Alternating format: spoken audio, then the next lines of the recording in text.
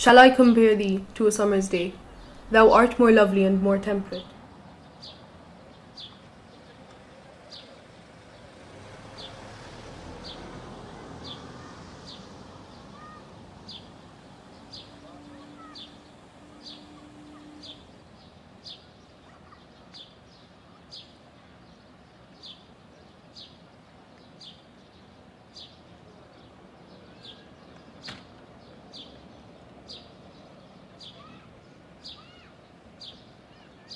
Rough winds do shake the darling buds of May.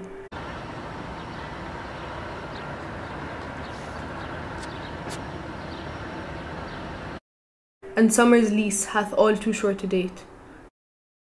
Sometimes too hot the eye of heaven shines, and often is his gold complexion dimmed, and every fair from fair sometimes declines, by chance or nature's changing course untrimmed. But thy eternal summer shall not fade, nor lose possession of that fair thou oust.